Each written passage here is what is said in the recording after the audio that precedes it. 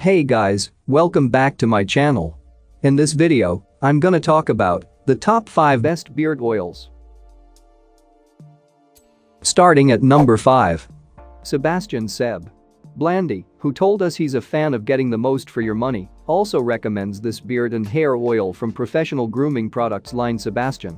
It contains argan, jojoba, and grapeseed oils, and on top of moisturizing and adding a healthy sheen to your beard, it will also help define its shape. But its versatility doesn't stop there. Blandi adds that you can also use it in your hair for styling or added shine. So Use it in your hair for more information and latest price, check out the product links in description underneath the video. At number 4. Baxter of California.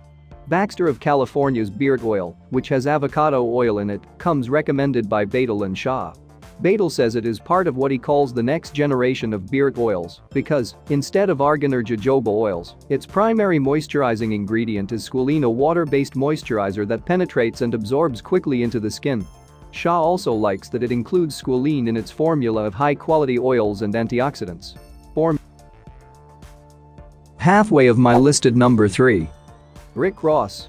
Pedro, a master barber at Clippers Barbershop in New Jersey who goes by the nickname Wolf of Broad Street, recommends this oil from extremely good beard haver Rick Ross, saying you can comb, brush, or pick it through your beard to distribute the product equally. This beard oil contains grapeseed and jojoba oils, and Shah, another fan, notes it also has linoleic acid, which he says is anti-inflammatory and especially helpful in beards of men of color who are more prone to ingrown beard hairs. A good beard oil like this one that keeps inflammation to a minimum should help reduce the incidence of ingrown hairs. It also contains castor oil, which Shah says has antibacterial and antifungal properties and stimulates prostaglandins, which aids in hair growth. Stimulates prostaglandins, which aids in hair growth. Stimulates Coming in at number 2. Honest Amish.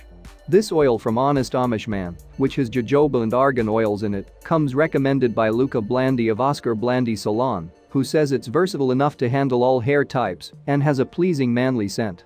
It's also an oil that strategist writer David Nadas used when growing out his beard. He says it's really terrific adding if you're concerned about synthetics and preservatives. The stuff is just a blend of different organic oils, avocado, pumpkin seed, sweet almond, and argan.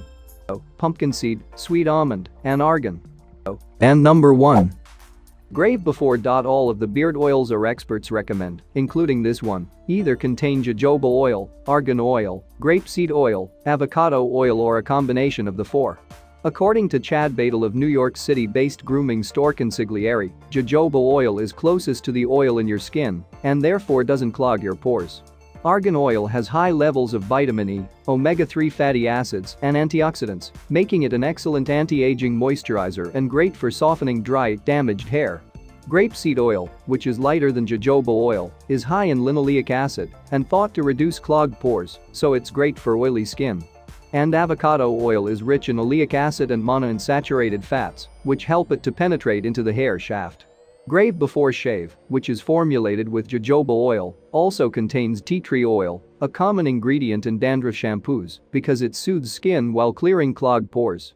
Arthur Iskakov, master barber at Barber's Blueprint, beard care expert Matt Benevento, and Colorado-based plastic surgeon Dr. Manish Shah all recommend it for its solid but simple list of ingredients. The oil also comes in a variety of scents, including bay rum, sandalwood, and pine, a feature Iskakov likes because there is a scent for every for more information and latest price, check out the product links in description underneath the video. Thank you for watching this video. Hope you found it helpful. Please remember to leave a like and subscribe to my channel. If you have any question, you can leave a comment below